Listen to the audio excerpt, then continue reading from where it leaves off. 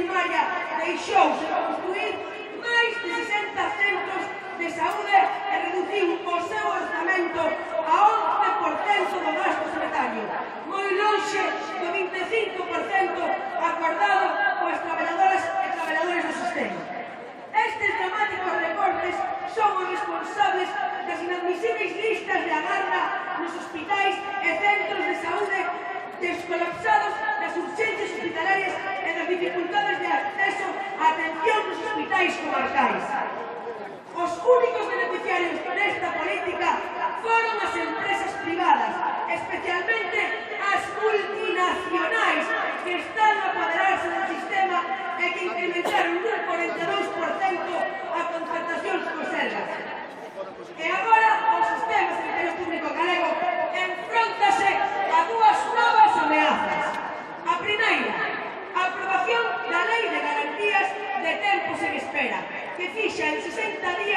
o límite para unha intervención quirúrxica é en 45 días para unha prova diagnóstica ou unha consulta co especialista.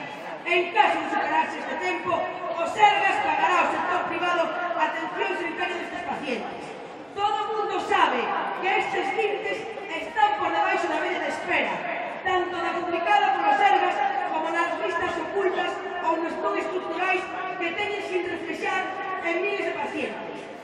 A trampa de Feijó de desviar a centros de enfermos da sanidade pública privada consiste no seguinte, atención, primeiro, nos recortes de recursos tanto en persoal como en infraestructuras que retrasan as consultas, as probas diagnósticas e as intervencións cirúrxicas dos hospitais públicos. Isto leva consigo que nunca se cumpran os prazos que se colgaron o propio sistema, o cal sempre se sobrepasa e xa temos a disculpa da derivar a pacientes a privados. Na tolerancia da dobre dedicación pública e privada de moitos profesionais, especialmente os que teñen responsabilidade na xestión. Non é difícil adivinhar que traballar para os centros públicos e a vez nos privados permite lucrarse da baixa actividade dos servizos públicos.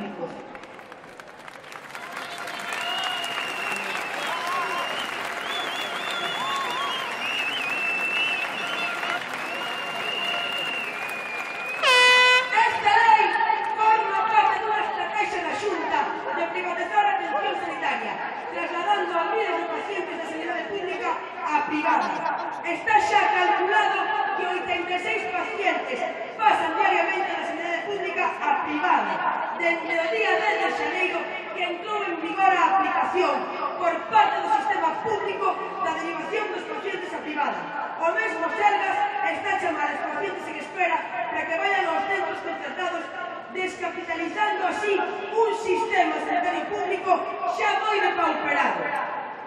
Dous, o proxecto de modificar a Lei Galega de Saúde elaborado polo Bipartito no ano 2008 que xa entrou no Parlamento na discusión o 6 de febreiro de 2018, pasado mañá, que en caso de ser aprobado, un desmantelará aos hospitais comarcais, dificultando así o acceso á asistencia especializada á poboación rural e máis envellecida, e recentralizará o control da Consellería de Sanidade sobre a atención da saúde. Por outro lado, moitos pacientes atendidos nos centros comarcais acabarán nos pesos hospitalarios incrementando así a lista da garda dos mesmos. Dous, perpetuará as estructuras de xestión integrada e OSES, que someten a atención primaria a xeretes hospitalarias, en detrimento da promoción, prevención e atención próxima da poboación. Acabar coa actual modelo de atención primaria supoñerá acabar coa promoción e prevención de saúde, que non é negocio, e darlle beneficio á estrategia baseada na curación que pode ser transformada nunha mercancía máis.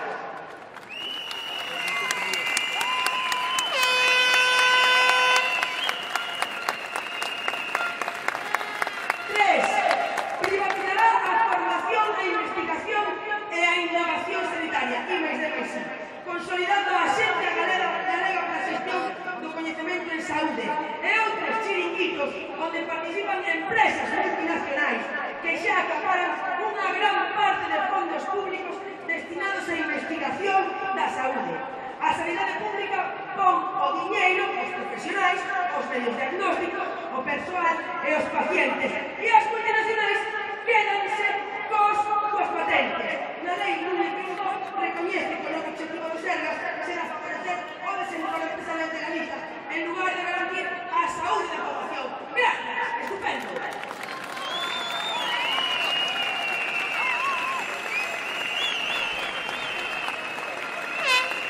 Mafra, Acabará a participación social para o control da sanidade pública galega. Vas a ser unha pantomima escoitar sen dicir.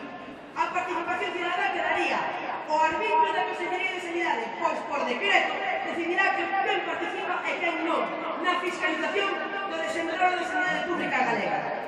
Quinto, favorecerá a creación de chiringuitos de xestión privada, claro, para xestionar unha parte importante do sistema e para laboralizar o persoal, combatiendo así o favoritismo e a arbitrariedade na contratación do persoal sanitario.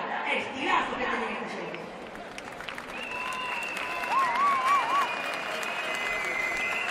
Levamos anos denunciando e mobilizándonos desde a plataforma Só Sanidade Pública de Galicia, manifestándonos contra a política de recortes, o desmantelamento e a privatización do noso sistema sanitario público galego do Partido Popular.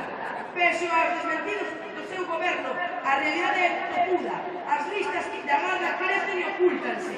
Os pacientes teñen que esperar días e semanas para ser atendidas e atendidos nos seus centros de saúde. As urxencias se colapsan políticamente.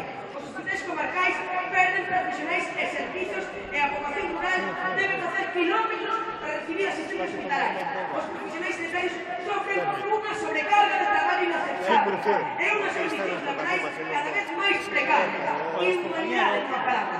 Mentre tanto, gracias a Núñez Feijó, a patronal privada, as multinacionais, aos fondos de inversión, aos fondos Boitre e aos grupos de presión dos profesionais da xestión, se están a quedar co sistema sanitario público galego facendo grandes negocios de dinheiro público a costa da saúde das galeras nos caemos.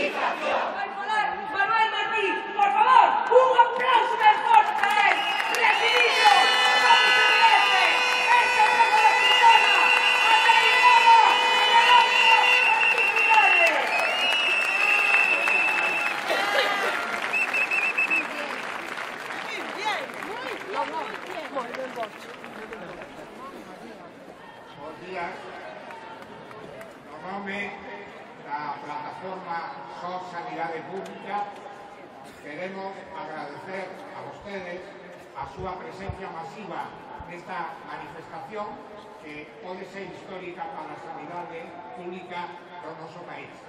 A, ainda as listas non de espera, sino a lista de manifestantes están cubrindo todavía parte importante do recorrido que hemos feito.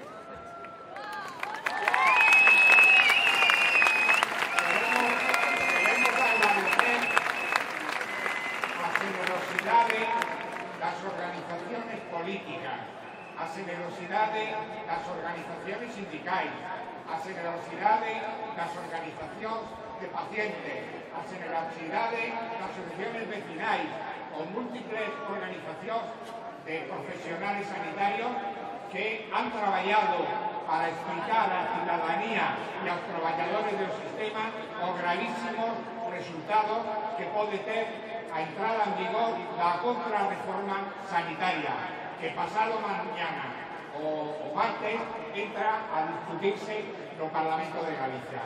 É generosidade porque han de costo os, a, ventajas, eh, os intereses da ciudadanía aos intereses eh, legítimos eh, que diferencian unos partidos e organizaciones de outros.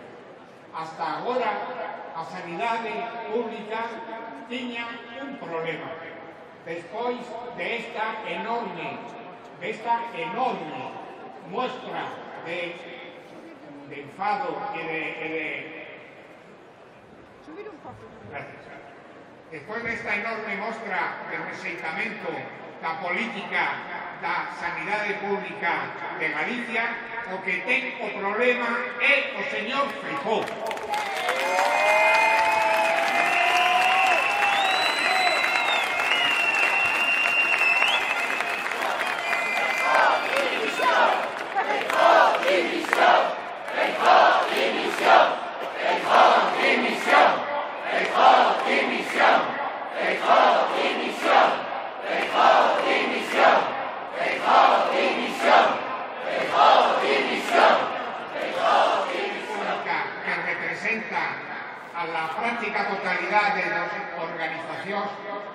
personalidades progresistas de Galicia, queremos plantexar ao señor Fijo a necesidade de ter unha reunión urgente para falar de dous cosas. Primeiro, a retirada do proxecto de cambio da lei galega de saúde.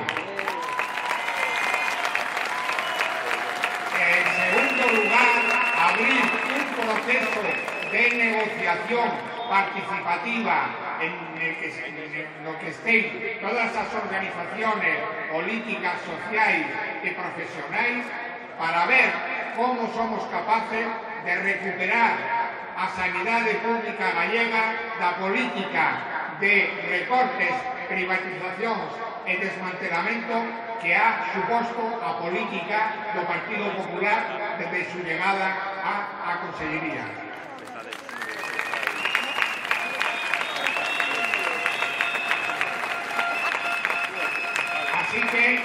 agradecendo a movilización, o esforzo das plataformas.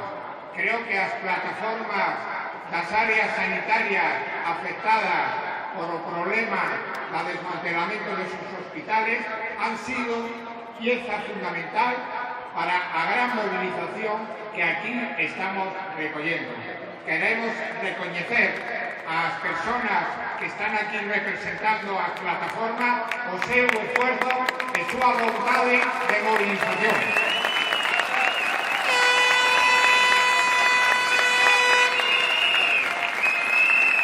Están, estánme a decir, estánme a decir que aínda hai moitísima xente que non ha sido capaz de entrar na plaza. Creo que podemos decir que é a manifestación máis fuerte que hemos tido na nosa comunidade autónoma en contra da privatización e o desmantelamento. Creo que o señor Feijó, que anda por Israel, debe ter xa sumole repleto de chamadas alertando de que a ciudadanía se ha puesto en pé contra a privatización da sanidade pública la estrategia de recuperar o no sistema sanitario público. No, no, no. ¡A privatización!